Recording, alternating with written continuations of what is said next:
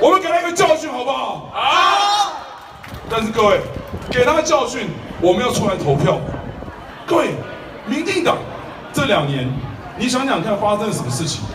除了欺负我们这些军工教人员之外，他不知道军工教退休的这一群长辈是这个社会安定的力量，是我们台北市消费的主力。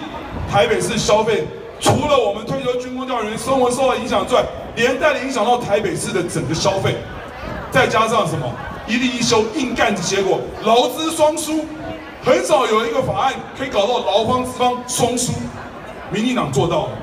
这样两个情，这两个糟糕情况一发生之后，连带冲击到台北市所有零售、餐饮的业绩掉了三成。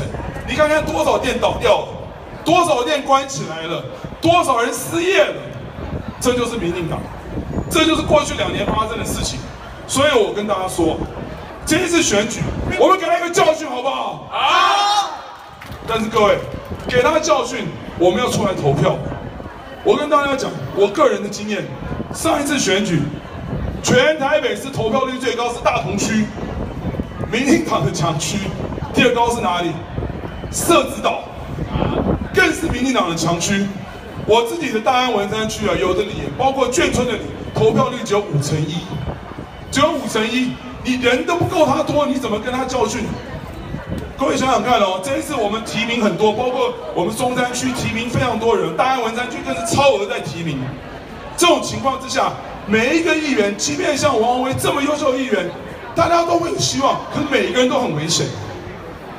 选完之后，如果我们议员选的不好，你想想看，民进党会怎么说？他说：“哎，对不起，民意站在我这边啊，议员是我选的比你多，议长是我的，我教训你还差不多。”如果发生这种事情，我们再去怪大家说，哎，你怎么这样？你怎么这样？都太迟了。只有一个方法，冲高投票率，好不好？好。冲高投票率就是展现我们人民的意志，蚂蚁雄兵的力量，没有错。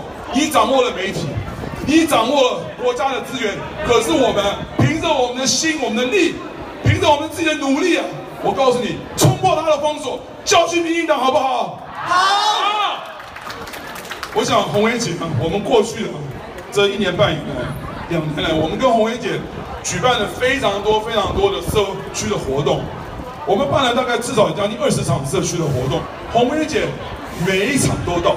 我从他的眼中看到了一个对社区的投入。所以各位，社区的发展、国家的未来、城市的发展，我们需要我们的里长、议员、市长、丁守中、议员。王宏威，还有我们在座所有的里长一起的努力，三步一起，我们才有可能扭正我们国家未来发展的方向。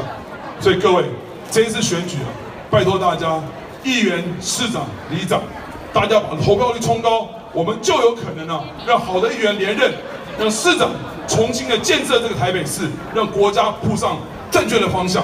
再次拜托大家，冲高投票率，一起出来投票，拜托大家。谢谢，谢谢。